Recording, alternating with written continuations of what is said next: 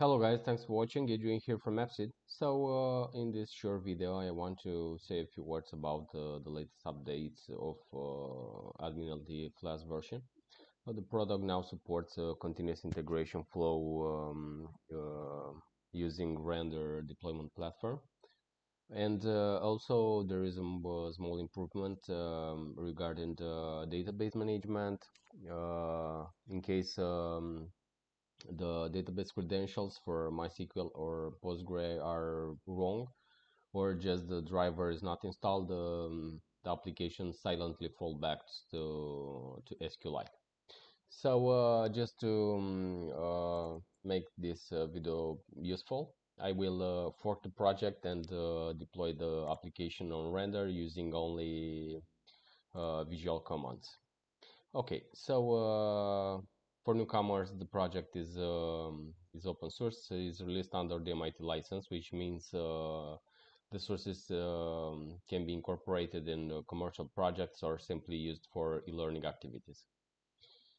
Okay, I will, uh, as I said before, I will uh, for the project. Okay, and just choose here. Um, a new name. Once the sources are um, are forked and uh, generated by uh, GitHub, uh, we need to um, edit a single line, which is uh, this render.yaml. The, this file uh, basically automates the, the deployment on render, and um, in order to have a unique name, we need to update this uh, this field to match the, the name of the repository. Once the uh, this change, small change is saved, I will um, uh, go here to render and um, create a new blueprint.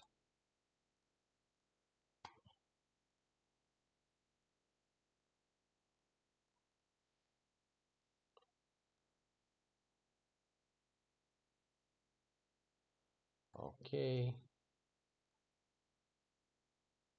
Now um, render platform accepts the request, analyzes the code base, and the product should be pushed uh, into their infrastructure for uh, live deployment. This uh, the process uh, should not take more than one or two minutes uh, because the application it's uh, it's super minimal, comes with only with authentication. The UI is fully integrated.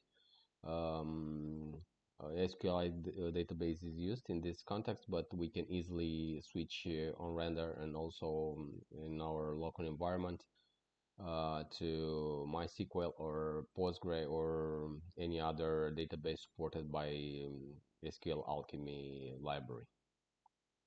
Okay, let's uh, click on this link and uh, we can check out the um, compilation logs provided by render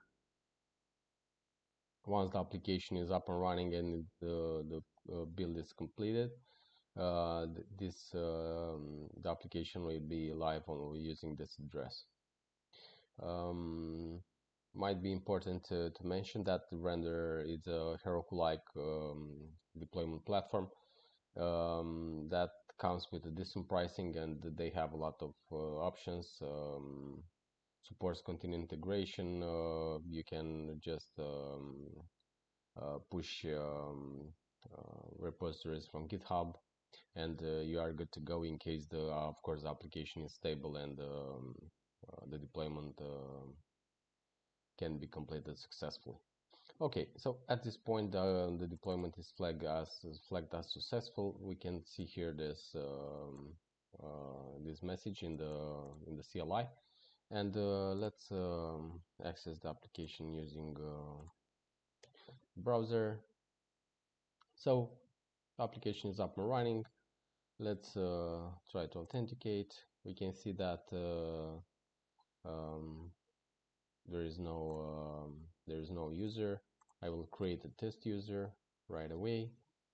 I will choose dummy password and registered user. Now the user was created and uh, we can authenticate. So cool. Application works. We have a database. The the UI is super nice. The admin is well-known um, dashboard template which is open source and free and it's actively supported by an impressive um, uh, community. So guys this is the product. Let us know what you think. In case anyone have issues feel free to um, access the support link uh, that is also listed uh, on AppSeed homepage. This is the link. Um, use these coordinates to get in touch with us uh, send us an email using the support at uh, appseed.us or simply join discord. Discord server where we uh, assist the community one to one thanks for watching again adrian here from AppSeed and uh, in all cases um, let us know what you think about the product um, the modules we should add to the to this simple code base and uh, of course if anyone's uh, anyone uh, wants to contribute and uh, improve the product uh, the contribution are welcomed. Thank you guys and as always i wish you all a super super day. Bye